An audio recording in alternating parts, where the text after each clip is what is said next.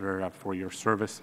Uh, as we've heard, uh, obviously the U.S. agriculture sector is a vibrant economic engine that contributes significantly to our export efforts.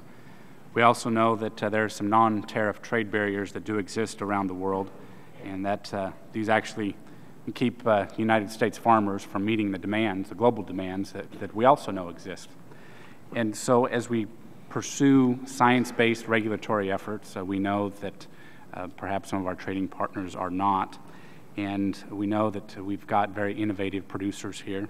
Can you uh, tell me what USTR is doing to make sure that uh, our trading partners are, are truly focusing on uh, science-based standards as a regulatory uh, effort uh, rather than more political results or, or even efforts.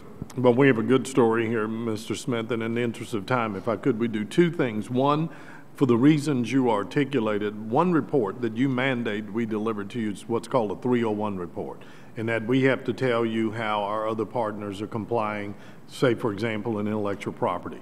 I made the decision when we came into office that that was a good enough tool. We now issue a similar report on specifically the sanitary and phytosanitary standards. We'll be submitting that to you soon. That's one thing. But secondly, we have um, pursued in every forum um, compliance with sound scientific standards and it has helped us. We, for example, settled a long-standing case with the European Union on their excluding our beef. We're now shipping 20,000 metric tons, almost $250 million into that market.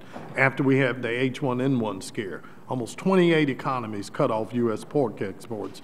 We're back in, I think, all of those economies but one. We have dealt with everything from poultry in Russia to beef in China, but it is one of our highest priorities uh, and we would welcome your thoughts on how we can perhaps even do better. Okay. All right. Thank you, Ambassador. And Mr. Chairman, I do have some other questions uh, that I'll submit for the record. Thank you.